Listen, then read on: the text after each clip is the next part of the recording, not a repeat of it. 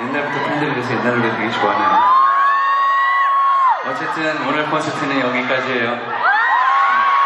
여러분들 귀중한 두 시간이 오늘 헛되지 않았었으면 참 좋겠다라는 생각을 해요. 아, 그렇죠. 여러분들 오늘 재밌었어요?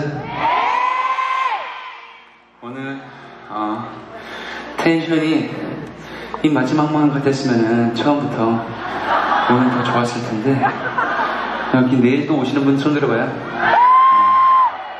네. 내일은 어마어마한 무대 준비하고 있으니까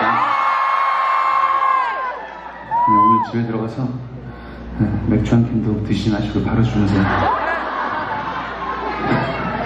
네, 어쨌든 오늘 와주신 여러분들, 2층에 계신 여러분들, 1층에 계신 여러분들, 그리고 1층에는 우리 재미니 밴드 가족분들, 지인분들, 어, 친구분들도 다 오셨다고 그러는데 오늘 이 자리에 뵈서 어, 여러분들, 부모님들의 어, 소중한 아들, 딸분들이 어, 저를 위해서 이렇게 헌신을 해주십니다. 정말 나와주셔서 감사합니다. 네, 덕분에 어, 세계를 누비고 있습니다.